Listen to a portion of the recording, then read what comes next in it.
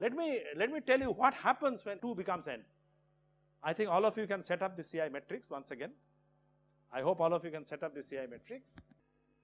So let us now look at not just dimer, but non-interacting n-mer. Okay. So I have n hydrogen molecules, each of them again in minimal basis set. Okay. So I will have now let us say 1A, 2A, 1B, I hope you understand 2B, 1C, 2C etc. A, B, C, D etc. And they are non-interacting. So which means each of them is far apart from the other, right. So once again if I do the exact calculation, the energy of this system will be n times the energy of the monomer if I do exact calculation full CI. Okay. So what will happen in DCI? So when I do DCI of course for each of them it is exact okay once again I am talking of only symmetry adapted and if I do DCI for the monomer uh, for the di for this n-mer then you can see it is hopelessly wrong. Because lots of product terms which are excitation between these these all are missing. N n n such terms not just quadratic quadruply excited hextuply excited all that because there will be n such term. So if you look at wave function it will have 1 1 bar 1a 1a bar plus c 2a 2a bar. Then again 1b 1b bar plus c 2b 2b bar and so on into 1c 1c bar plus c 2c 2c bar and so on. So all these n, n terms will be there. So you can see first term is of course Hartree-Fock, no problem. Then you have you have only doubly excited you can chalk out, but there will be terms like this, these, these, these which are hextuply excited. So there will be lot, lot of terms which will be missing. So quite clearly the result is even more hopeless. So what we actually get is what I want to tell you as a correlation energy. So if you set up the matrix however, the matrix would look pretty much the similar matrix that we had. So 0, K12, that Hartree-Fock to doubly excited will still be K12 just like monomer I did that, K12, so all, all Hartree-Fock to all doubles. So I have only doubly excited configuration. So all of them will become K12. Note that I am doing a doubly excited CI for the n-mer. So I don't have anything else. So I don't have Hartree-Fock to quadruples. Please remember. So here only doubles are there. Product has, but this is not a product thing. This is a CI for the n-mer. So I will have similarly K12, K12, etc. And then you have 2 delta, and then you have one doubles, to another double, 0, 0, everything, 2 delta, everything else is 0, and so on.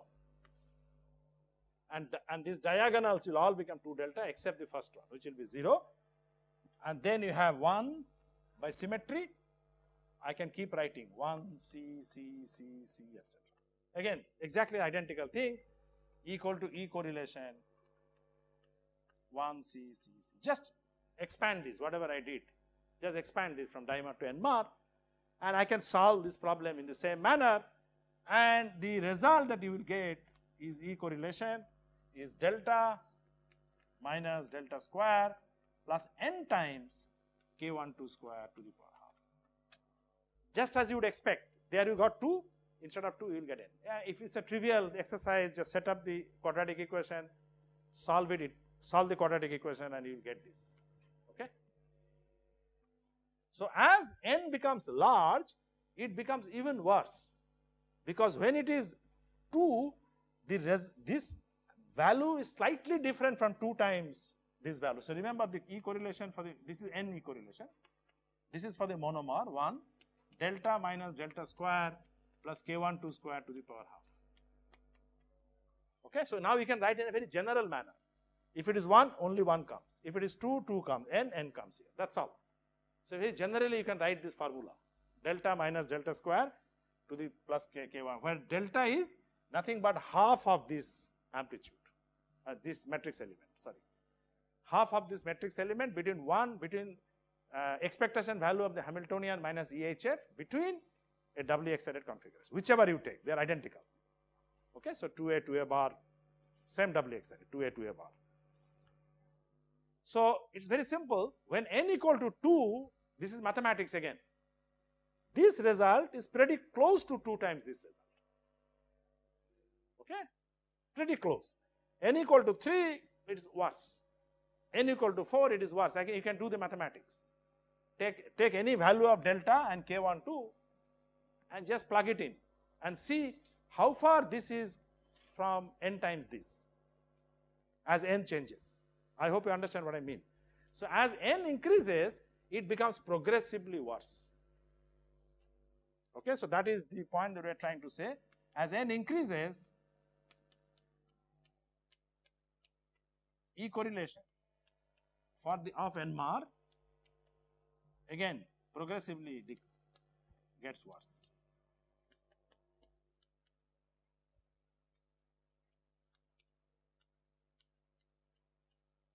And as I said, unless you do full CI, exact CI, you will never get it right. Any approximate CI will not do, not just DCI. Although we did this exercise with DCI, it will never do. So in fact, it is, it is, it is said that for all DCI wave function, the energy, and this you can see from here, the dominant part of the energy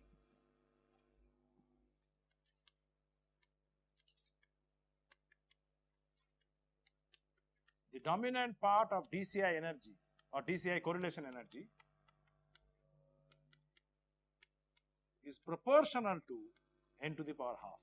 As you can see here in terms of n dependence because you can see that this is if I expand this the first term will be n to the power half. Of course I can do a leading leading expansion in, in, in power series but it is the dominant part is actually n to the power half. And this itself is wrong obviously. That is the reason the problem is coming up for n-mer. It should have been actually proportional to n as you would guess. So in exact correlation energy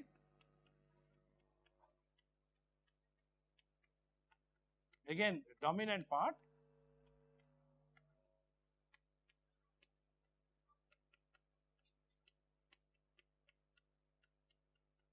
okay is proportional to n okay and that so that does not come out it becomes square root n and this is essentially the problem so actually this is somewhat different because if i am looking at the dimers or trimer or n-mer at an infinite separation, the exact correlation energy is exactly n times this, as I told you. Why did I write the dominant part? I am writing this because this is a general theme that occurs even when they are interacting. So even when they are not, not non-interacting, when they are coming closer, then of course it will not be exactly n times, but the dominant part should still be n times or proportional to n. Okay? So that is the reason we normally call this in the interacting regime. So this you can actually say even in the interacting regime. So even when they start to interact, the dominant part remains proportional to n. So when you split them apart, they will be exactly n times. This particular property, the second property that we said is actually known as another name and this is a very recent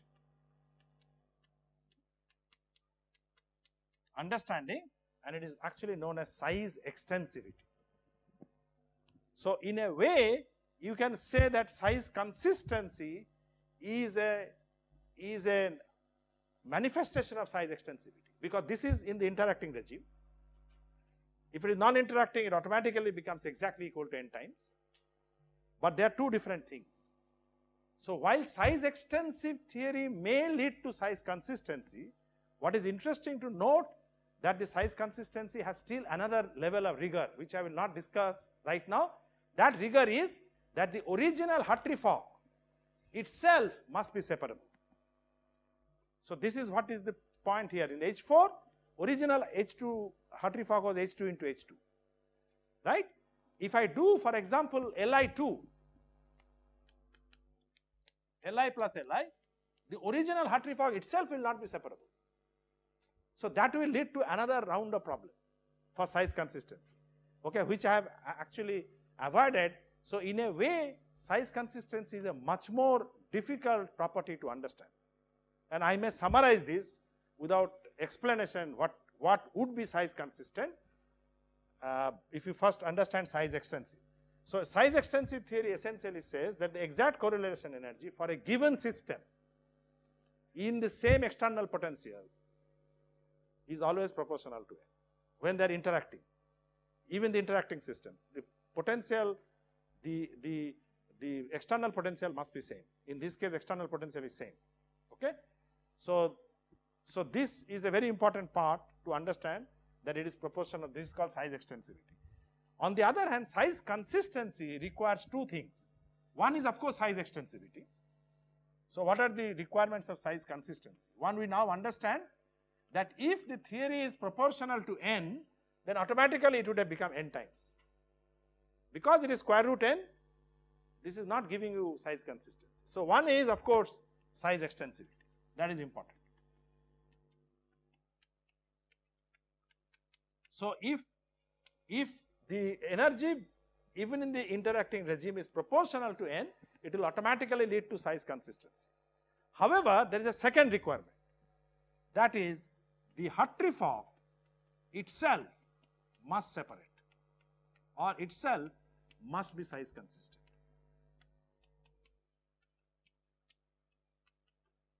Which is the case in this example. So, we did not bother about the second part. But if the Hartree-Fock itself is not separable, then even if you do a size extensive theory, the result is not size consistent.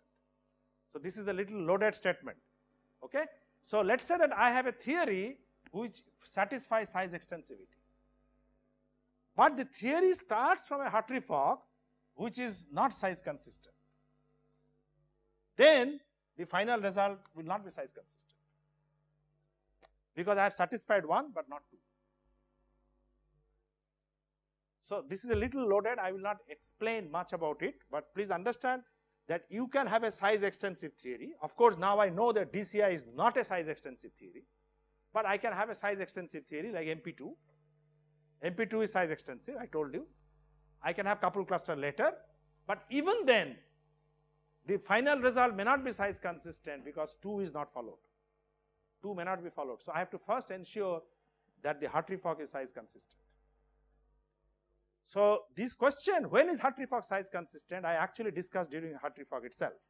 That if I have a closed shell system, if it breaks into closed plus closed, the point 2 will be satisfied, which is the case here for the H2 dimer that I discussed. But if it is Li2, Li plus Li, I first have problem here. Then no amount of size extensive theory will lead to size consistency. Okay? Alright, I hope, you know, I will not go into any more details, it is very loaded, but that is the reason when you do a potential energy surface, you have to be very, very careful. You have to first look at the Hartree-Fock, then you have to see what theory you are using, and both must be right. So, the, this is the correlation part. This is this, this is the reference part from where you are starting. So, if the reference does not separate properly, even if you do the correlation correctly, you won't get the result. So even couple cluster will not work in such a case. So how do you make then work? So that is where what is called the multi-configuration theories come. This is a totally outside the syllabus of the course, but just for reference I am telling, because today I will stop now. So a multi-configuration Hartree-Fock you do first to make sure that it is size consistent and then top of that you do size extensive theory. If you remember, you have MCSCF, you have MRCI, you have multi-reference couple cluster. They are all basically to achieve this problem in a very, so the theories become much more complicated, okay. So these are all names for the you, but obviously one has to do it. So these are all understandings which have come in last 20, 25 years and people are still working on it. How, how do I do it? In fact, I will make little bit remark on the multi-configuration SCF in the next class, which is just like CI but little bit little bit different. And then I will completely leave this topic and probably go to the, go back to perturbation theory and introduce second quantization. So second quantization is very important tool. Uh, I think many of the equations that algebraic equations that you write would become actually simplified in second quantization. First one is theory dependent because you must have a theory which is proportional to n. The second one depends on the problem.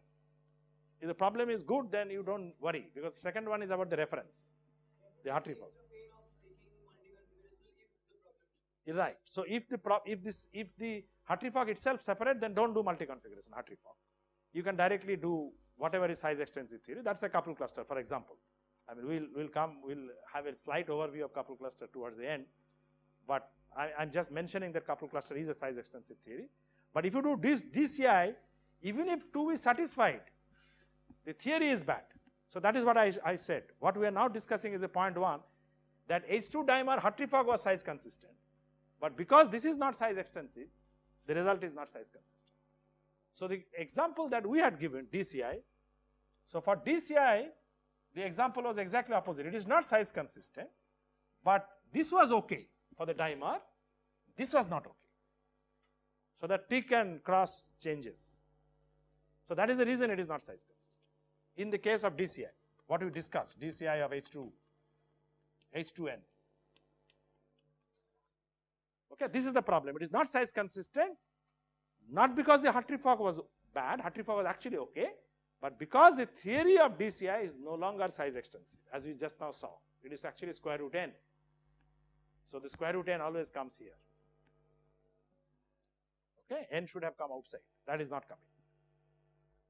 And that is very, very critical to understand because of the CI structure of the correlation energy that it was dependent on the correlation energy itself. Remember, till everything it was okay, till you actually solve the quadratic equation, okay, or iterative equations.